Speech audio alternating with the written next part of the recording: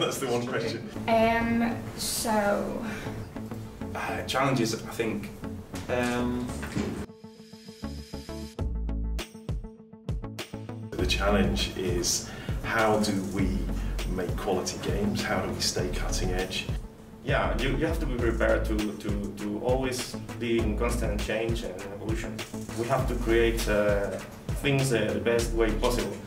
making it user friendly and so and, and it's so that it's not as tedious for the user to to do the work. communicating between all of the, dis- the disciplines day to day.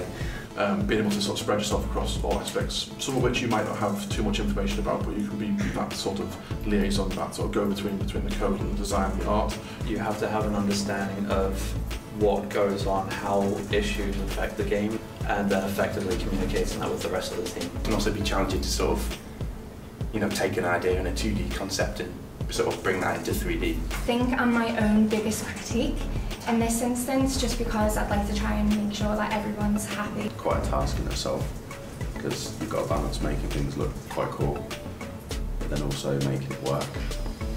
Trying not to waste time. You can end up doing things over and over if you don't plan it right. There's a lot to focus on. It's very easy to focus on the shiny thing that seems cool. I think it's very easy to work on the fun stuff, um, but a lot of times it's behind the scenes. It's the things that if you don't see every day, that actually makes the biggest difference to the to the game, to the team.